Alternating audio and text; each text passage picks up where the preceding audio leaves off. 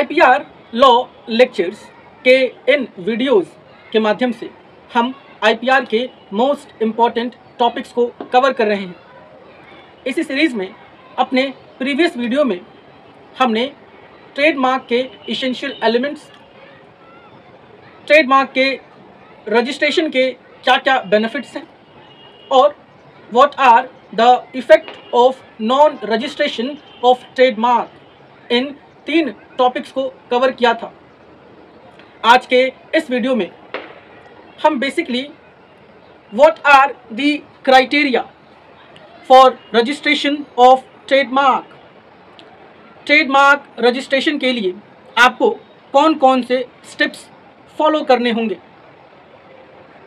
कौन कौन से प्रोसीजर्स हैं जिन्हें फॉलो करते हुए आप अपने मार्क को ट्रेडमार्क एक्ट 1999 के तहत रजिस्टर्ड करा सकते हो। और एक बार आपने उस स्पेसिफिक उस यूनिक मार्क को ट्रेडमार्क एक्ट 1999 के तहत रजिस्टर्ड करा लिया तो उस मार्क को यूज़ करने का जो एक्सक्लूसिव राइट्स है, वो आपके पास आ जाएगा।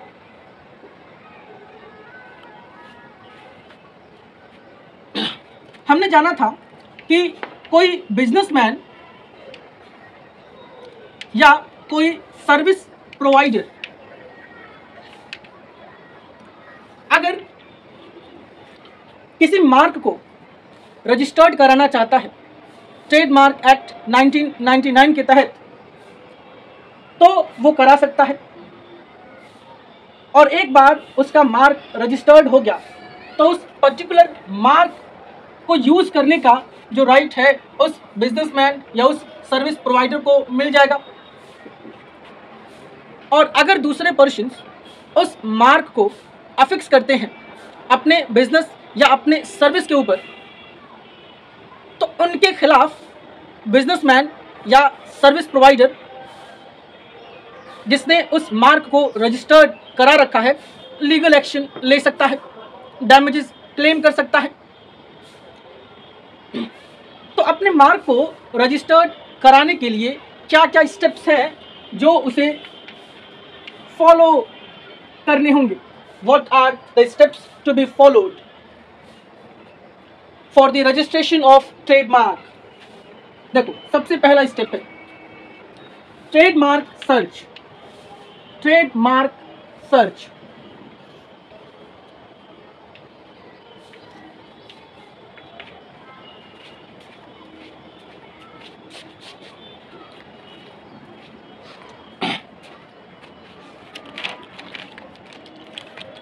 trademark search देखो, आप अपने मार्क को तभी रजिस्टर्ड करा सकते हो, जब वो जो मार्क है, वो टोटली आपका क्रिएशन हो, वो अपने आप में ओरिजिनल हो, पहले से एग्जिस्ट ना करता हो।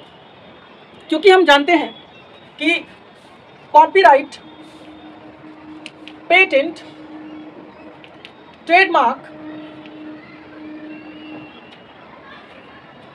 डिज़ाइन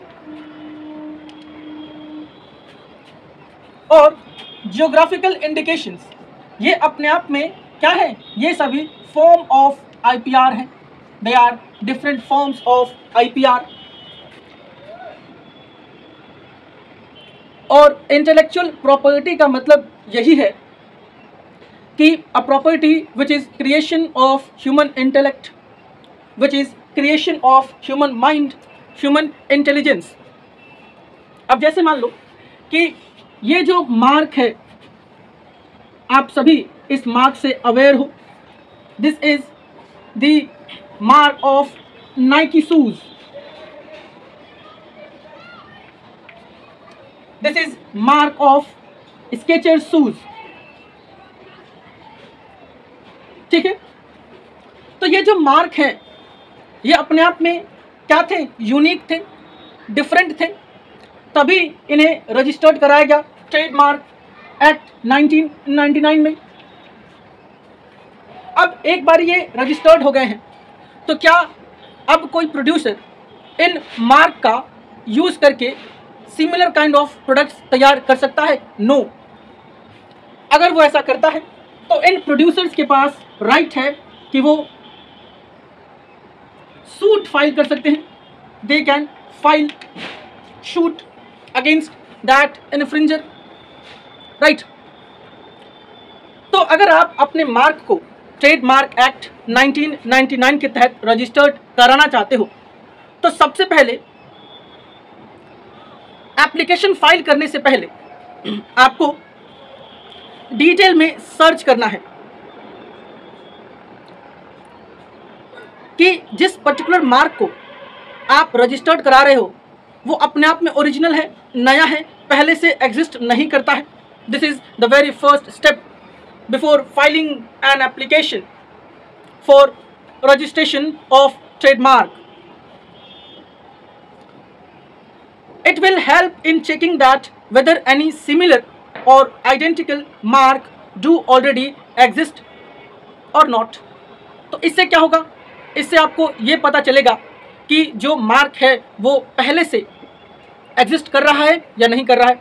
अगर कर रहा है तो हमें दूसरे मार्क को बनाना है।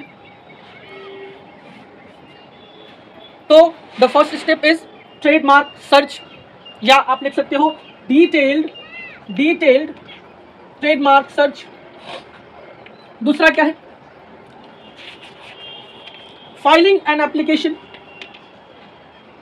filing and application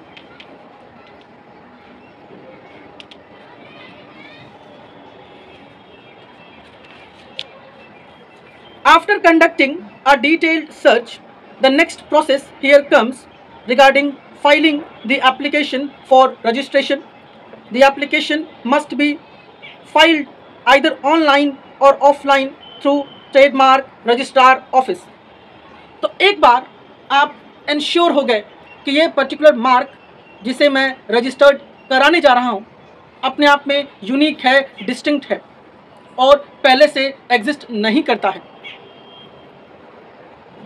तो क्लेम के कोई चांसेस नहीं है। अब आप क्या करोगे? एप्लीकेशन फ़ाइल करोगे प्रॉपर एप्लीकेशन फिल करोगे और ट्रेडमार्क रजिस्ट्रार ऑफ़िस में जाओगे और उस एप्लीकेशन को या तो आप ऑनलाइन फिल कर सकते हो।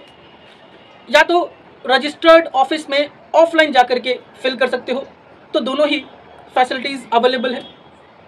तीसरा क्या है? Examination process examination process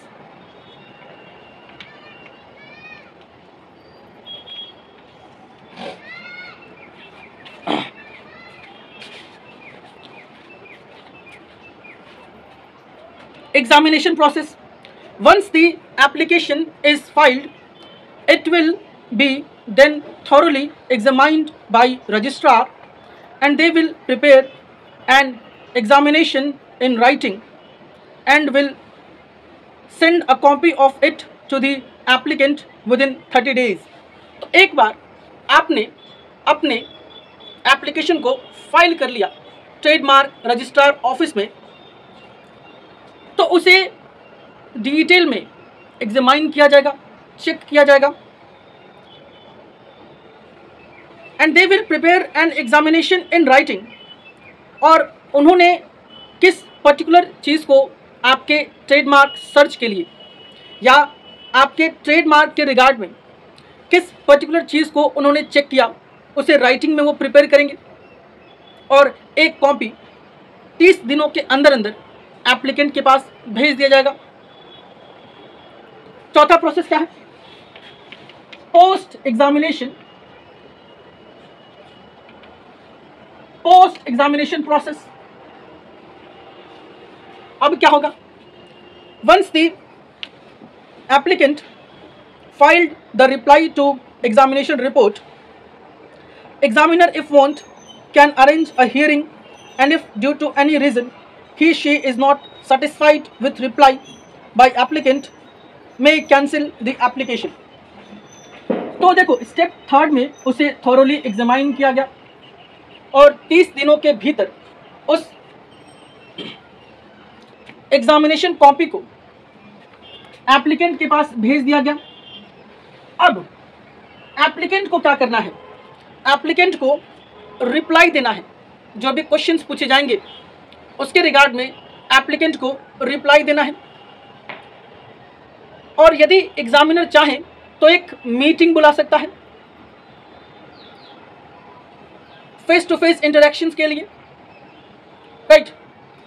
और अदर प्रोसेस जो भी होंगे, उन्हें वो अडॉप्ट कर सकता है। और अगर एग्जामिनर को ऐसा लगता है कि कुछ खामियाँ हैं रिप्लाई में तो उस एप्लीकेशन को कैंसिल भी कर सकता है। राइट तो ये है पोस्ट एग्जामिनेशन प्रोसेस पांचवा क्या है? पब्लिकेशन ऑफ़ ट्रेडमार्क एप्लीकेशन अब आपके ट्रेडमार्क एप्लीकेशन को पब्लिश किया जाएगा publicly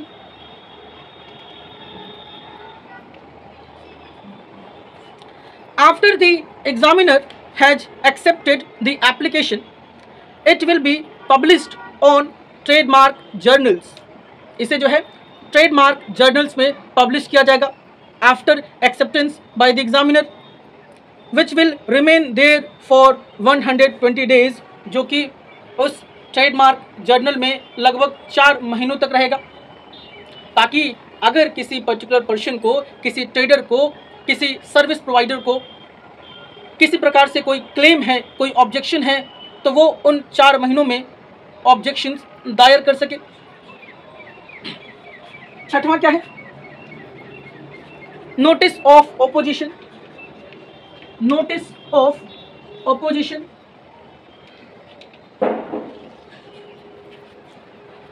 within 4 months from the date of publication of application on trademark journals any aggrieved party can file a notice of opposition तो कोई भी aggrieved party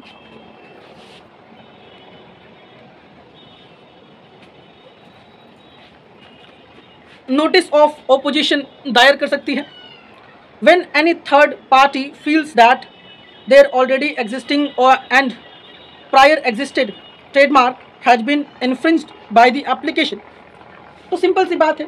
ट्रेडमार्क, जर्नल में आपके एप्लीकेशन को पब्लिश करने के पीछे का जो रीज़न है, वो यही है कि अगर किसी को किसी प्रकार का ऑब्जेक्शन है या उसे लग रहा है कि उसके ऑलरेडी रजिस्टर्ड ट्रेडमार्क को कॉपी किया गया है तो वो क्लेम ऑब्जेक्शन रेज कर सकता है within four months from the date of publication of application on trademark journals right सातवां क्या है? Registration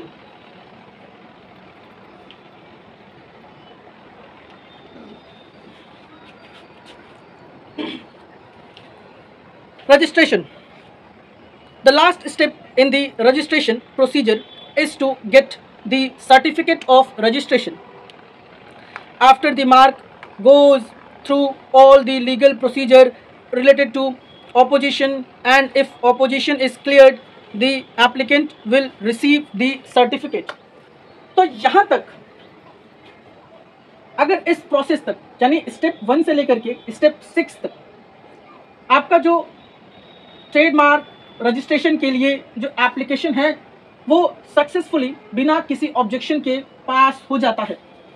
तो एट द एंड आप certificate of registration of trademark. आपको मिल जाएगा। You will get certificate of registration ठीक है? तो these are the steps which a businessman और service provider shall have to follow in order to get his or her mark registered on trademark act 1999 ठीक है? Step one क्या है? Trademark search दूसरा filing and application तीसरा examination process चौथा post examination process पांचवा publication of trademark application छठवां notice of opposition और सातवां रजिस्ट्रेशन ठीक है? अगर आपको इस पर्टिकुलर टॉपिक का पीडीएफ नोट्स चाहिए तो आप मेरे टेलीग्राम चैनल को ज्वाइन कर सकते हो। वहाँ पर कंप्लीट इंटेलेक्चुअल प्रॉपर्टी लॉ का जो पीडीएफ नोट्स है, वो पड़ा हुआ है। तो आप वीडियोस देखो और पीडीएफ नोट से नोट्स बना लो और केवल इन्हीं वीडियोस को फॉलो करो, इतने ही वीडियोस को फॉलो करो। आपका जो आईपीआर का पेपर है, वो अच्छा जाएगा, आप उसमें अच्छा स्कोर करोगे। ठीक है? तो अगर ये वीडियो आपको इन्फॉर्मेटिव लगा है तो प्लीज़ चैनल सब्सक्राइब करिए वीडियोस को लाइक करिए और इसे ज़्यादा से ज़्यादा शेयर करिए। Because I believe together we learn together we grow Thank you. Have a nice day.